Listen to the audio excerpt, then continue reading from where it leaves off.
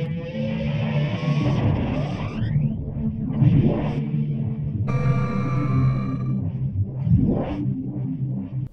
everyone.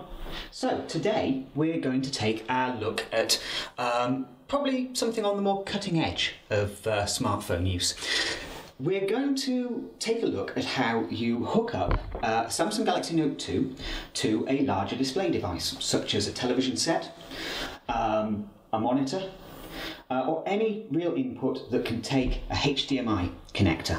So that could also be like a HDMI capture card, for instance. But today we're going to have a look at getting our Galaxy Note 2 up onto a television set. So to do that, we're going to require four things. Well, five including the television. We need our Galaxy Note 2. We need a adapter called an MHL adapter, and you can pick these up for between five and thirty pounds, depending on uh, what make you get, uh, etc. Samsung doing their own version. It's quite expensive. Uh, it's obviously at the high end. Or you can go onto eBay and you can find these for around eight pounds. Um, this one was eight quid. The adapter requires its own power.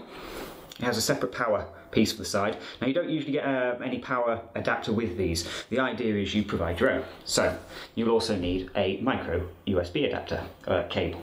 Now you can either power this MHL adapter off a USB port, so you can just plug that in, end into a PC, that end into the adapter, and you're good to go. Or you could actually plug it in uh, using the wall adapter. Works just as well there as well. In this configuration we'll be using, we'll use a wall adapter. So we plug it into the mains, we plug that end into our, our MHL adapter, and then our phone. We also then need to plug this end into the bottom of the Note 2 and this cable into the bottom of here and the other end into the TV. And that completes the setup. So the next thing we need is our television set.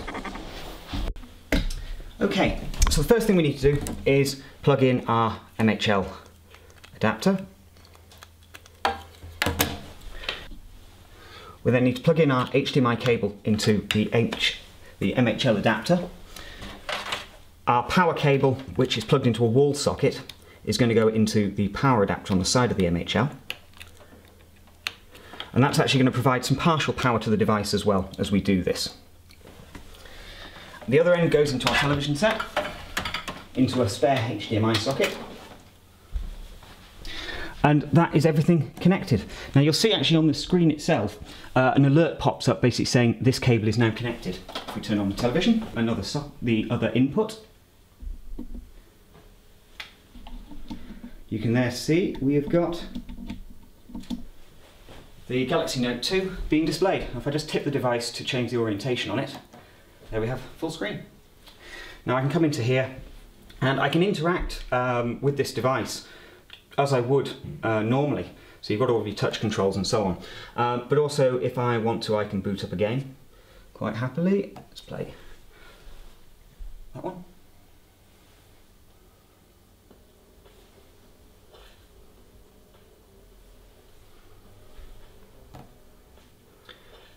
One of the uh, most useful things you can really do uh, with this particular setup is obviously watching videos or playing games. So for instance I have a key, uh, touchpad, keyboard and mouse which I can use if I want to to play the game or equally I can just sit here on the device itself bashing away on the touchpad. But as you can see a very very quick and easy way to get your uh, Galaxy Note 2 up and running on a larger device or any HDMI input source where you may want to capture from. The actual output is 1080p, even though the uh, Galaxy Note 2's display is a 720p display, the output coming off the device is 1080p. So you can actually improve the quality uh, in many respects uh, by outputting to a, another device.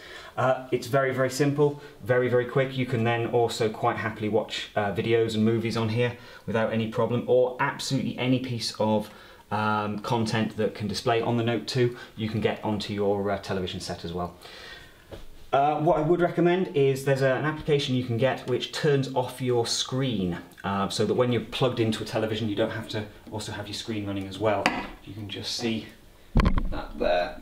The screen on the Note 2 is also running in real time. Um, what the actual application does is it doesn't turn the screen off but it turns the, the uh, backlight off. Which the backlight is obviously allowing us to see everything that's going on here, but it's also the element that burns out the quickest on a screen. Uh, and so anything you can do to kind of not be running effectively two screens simultaneously when you're only watching the big one is a great boost to the uh, overall life expectancy of the phone. Um, but that's it, a very, very simple way of getting your Galaxy Note 2 to display on any device.